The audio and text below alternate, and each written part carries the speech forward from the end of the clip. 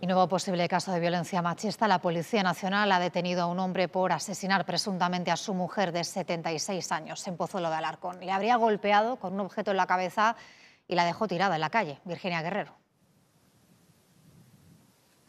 Y justamente delante de la puerta de su domicilio permanecía inconsciente y sangrando por la cabeza Luisa, la víctima de 76 años, cuando una vecina la encontró y llamó al 112. Según las primeras investigaciones, el matrimonio habría empezado a discutir a eso de las doce y media de la noche, cuando en un momento dado la mujer quiso huir del domicilio. Desde la puerta de entrada, donde está la fachada, hasta la valla de salida, la fue golpeando con un jarrón en la cabeza, hasta que Luisa cayó eso, inconsciente, en la puerta de su casa. El hombre fue, como habéis comentado, detenido por la Policía Nacional y permanece en la comisaría de Pozuelo, donde se espera que siga por las próximas horas.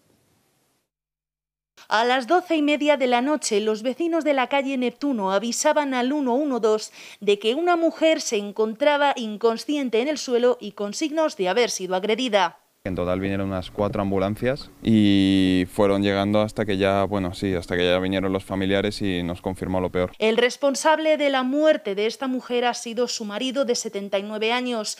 La estaba persiguiendo por la calle con un jarrón en la mano después de haber tenido una fuerte discusión. Solo pudieron confirmar el fallecimiento de la mujer.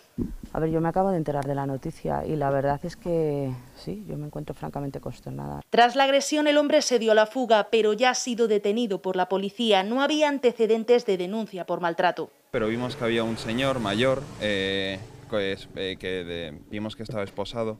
El presunto agresor tomaba medicación. Están tratando en, en Puerta Hierro no estaba, no sé. Los vecinos del barrio están horrorizados al enterarse de la noticia. Me parece tristísimo. Yo es que no, no tengo palabras para estas cosas.